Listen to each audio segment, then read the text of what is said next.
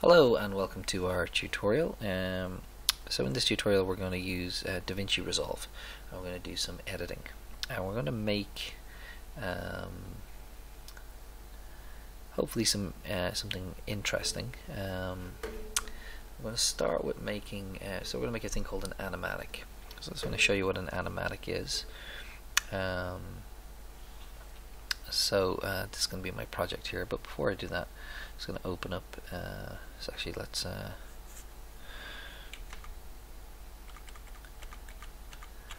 there we go. So this is my storyboard uh, for a film that I made a little while ago. Um, now the X's going through them are as I made each shot I kind of marked off that the shots were completed.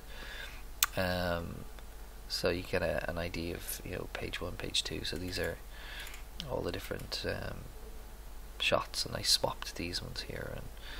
And um, anyway, they give you an idea of uh, uh, sort of the quality of the sort of the hand drawings. So they're they're quite crude, and they're just to give me an idea of what I was making. So an animatic is normally when you take your storyboard for your film, and let's say your film, the pieces that you're making are about a minute long. So you're going to take them, and you're going to, um, you know, you're you may have 15 shots, you may have 10 shots, so you'll have you know an equal number of drawings, and you're going to take them, um, and obviously turn them into your film.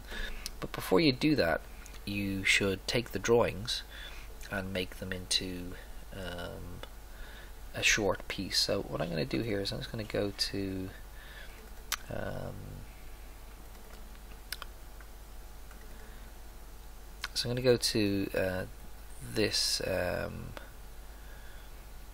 uh, folder here. Now I'm actually going to drag these in. It, it's loading it as an image sequence, all the images that I want. So what I'm going to do is I'm going to take my folder here and I'm going to drag each shot in. So shot one, uh, two, three, four, five, six. And it's going to bring them all in one by one. And what we're going to do is we're just going to pretend, um, because it's just an exercise, that these are my uh, storyboard drawings. And we're going to make an edit uh, from these still images. And that edit is going to be to kind of test the um, the pace of my film. And, and 26, 27, and 28. The other thing I'm going to bring in is um, the audio, and all of these, uh, all this material is going to be loaded up into the drive, into the resource folder that we all have, so that you can access all of this. I'm going to bring this in as well. Okay, so let's get rid of that. So what we have here now in our uh, media window, so I'm in the media tab here. So I've just found my folder and dragged stuff in, and in this instance, as I said, I've dragged them in from Windows Explorer directly. So I've got all my images sitting in here in um, my media window. And uh, we're going to go um, edit now. So I'm going to click on the editing tab down the bottom and I'm literally going to go to shot number one I'm going to drag and drop it onto the timeline and before I go any further I'm going to put in my music which is this piece here.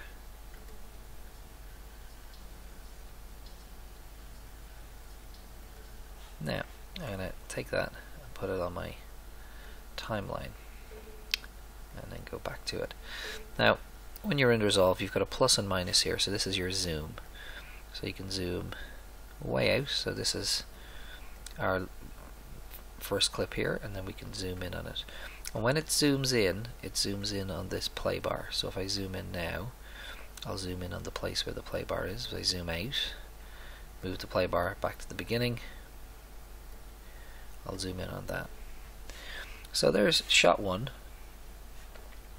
And we're going to bring in all the shots. So there's 27 there's shot two and shot 3 Now you can see I've got video 2 here and video 1. I can create as many video lines as I want. So I can take this shot 3 here and I can lift it up and then suddenly I've got video 3. Now there is no video 4 at the moment. But if I literally lifted up one of these, I'd have video 4. Now I have no need to do that. So I'm just keeping it at video 1 and 2 and I'm going to offset them so I can see where each one ends and each one begins. So we're just going to imagine that these are our drawings. So you'll probably uh, draw by hand uh, onto a piece of paper and then you will um, probably use your phone to take photos of them of the images that you've drawn um, and then bring them in to resolve and uh, arrange them on the timeline like this and this is how um, you'll kind of get a sense of the pace of your film. Um, 13 and 14, so nearly there. Now I'm just putting them on, I'm not actually uh, trimming them at all yet in terms of their duration. Uh, so at the moment, uh, and we'll have a look, each uh, shot is exactly the same length. And of course, if we were to make a film where all the shots are exactly the same length, it wouldn't be a very interesting film. So shortening the shots can create tension, it can create kind of pace. So if you, someone's chasing somebody, um, it can make something very fast. Um, it's 27 and 28 must be at the top, is it?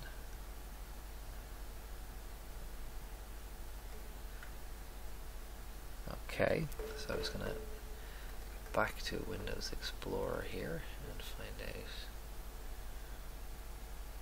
where 28 is. So I mustn't have brought 28 in. So I'm going to go back to media here and I'm going to bring one more picture in, which is this one here, which is picture 28. And then all the way to the end of my timeline and drop in number 28. That's the last frame. So that is the Cloud 3. So, um, Let's zoom out a little bit.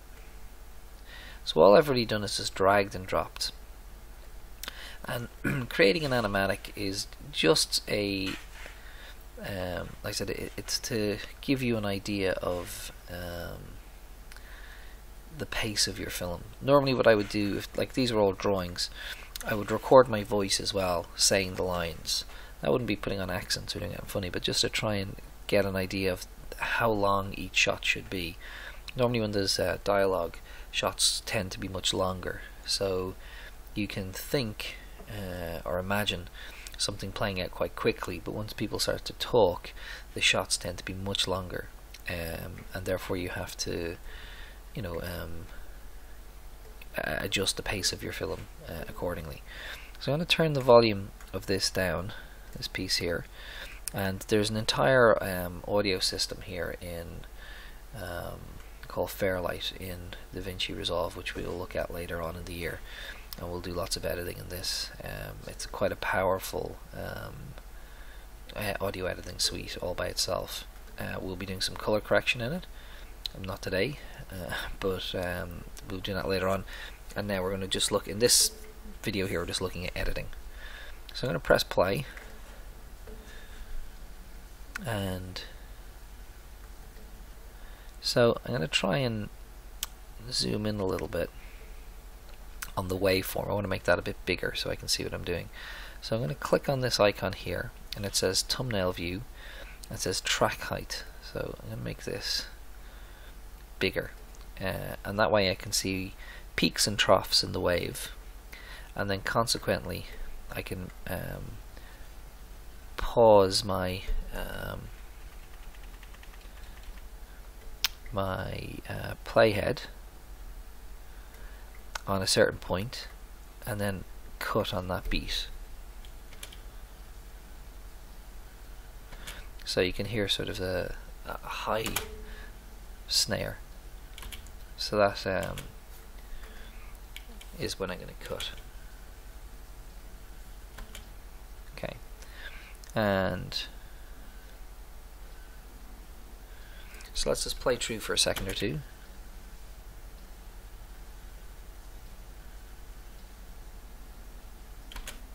So I'm going to move this back to here. Bring this shot back as well.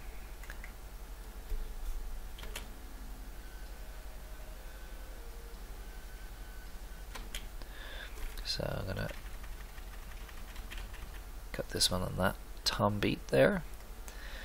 Now I have no accompanying um, dialogue with this but you can see that the process is um, you know fairly interesting and fairly um, you know if you had a shot with dialogue it would be longer.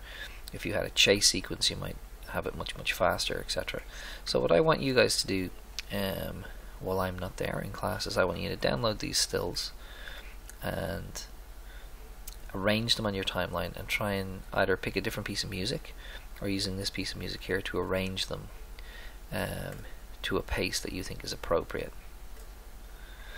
Now, and then as a reference, um, so this is uh, Chrome, and I have uploaded this here. So this is 2 minutes 35 seconds.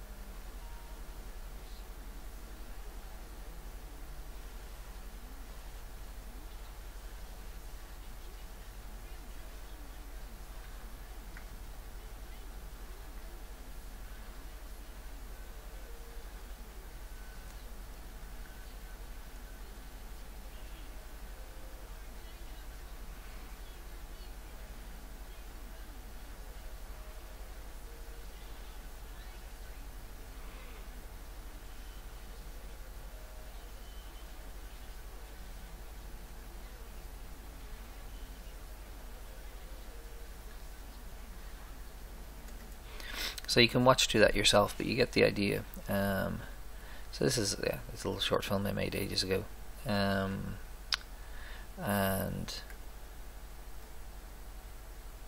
you you'll get an idea of the pace of it. Um, it oops, it ends.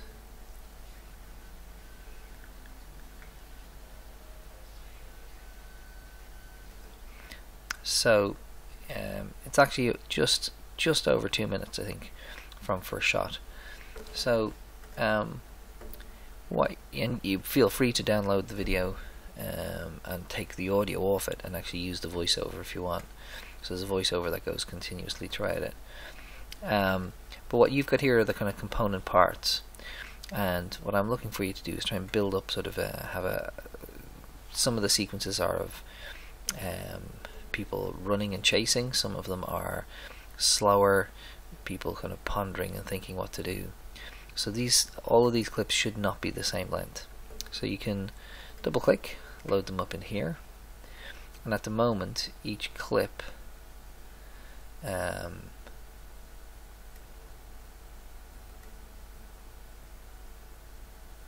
oops, so each shot uh, defaults to 5 seconds.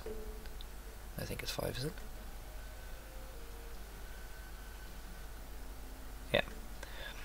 So um, it's up to you then to decide which, like how long each shot should be. And then when you're doing your animatic for your own film, you should be doing the same. So if you have 10 shots in yours, you'll have 10 images here in the timeline. You'll lay down your voiceover or your you know rendition of the the dialogue, and then you'll put in your piece of music uh, or your sound effects that you think are appropriate, and then try and get a timing uh, for your film um, in advance of you actually uh, making the film. So this will be one of the projects you'll be doing for me just shortly after Christmas, is to storyboard your film, place it on the timeline uh, in storyboard format, and put a voiceover and uh, music on it, so that you have a timed version of your film before you actually go out and shoot it. So um, I'm going to leave it at that. Um, when you are finished, um, I'll show you how to export. So this is obviously not um, a finished oops uh, article here so I can select all them. And just move them down. Um, so we will spend quite a bit of time in Resolve editing um, so you'll get used to this very quickly if you're not used to it already. So uh, media is where we import edit is where we edit color correction and audio, and then deliver is where we export. So everything we've put on our timeline arrives here, and then what we want to do is um, select our settings here. So we'll export it as a QuickTime movie. It's going to be HD. Um, leave it at 24 frames a second. Our file output, so you give it a name, so you know, um, call it animatic. And then you can decide, you know, render it out to the desktop if you want. So you can click here and select your destination. And then when you're happy with your um, that you've given it a name and given it the right location, and that you're happy that you've set the the resolution. Now, I would suggest that you don't use that compressor, that you use this one, the one that we use most frequently, which is H.264. And, and then from there, just hit Add to Render Queue. So this is going to send it over here, so you could have five or six different uh, things in the queue. At Render Queue. Oh, I haven't given it a destination, so I just, for now, I'll say G and go OK. And then if you want to create this file, export the file, you just hit start render and it will start rendering out. Now I'm going to stop it because I don't need this file, but um, it'll render this out for you. Okay, and then you'll have an exported file. So mine is here, uh, the one that I stopped. So I'd say your finished product will be about 200 meg um, if your timeline is the same duration as mine. Alright, so um, that's what I'd like you to do, and um, then we'll review this uh, on Monday.